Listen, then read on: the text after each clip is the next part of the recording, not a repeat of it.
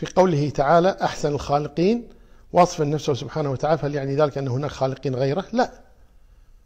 إما أن يقال الخالقين هو مصور الشيء لا باث فيه الروح. فإذا قلت مصور الشيء نعم تقول أنا خلقت هذا أنا صنعت هذا هذا لا بأس. أما أحسن الخالقين لو كان هناك خالق لكان الله أحسن الخالقين سبحانه وتعالى كما قال قل لو كان لله ولد فأنا أول العابدين يعني أعبد آه، إذا كان لله ولد لكن ليس له ولد. وهذا واضح إن شاء الله.